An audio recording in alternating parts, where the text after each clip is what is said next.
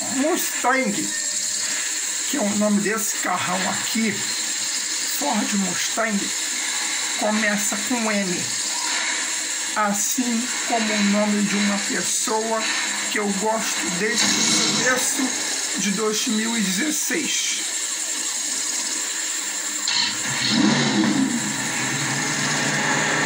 Como esse carro, essa pessoa é muito bacana.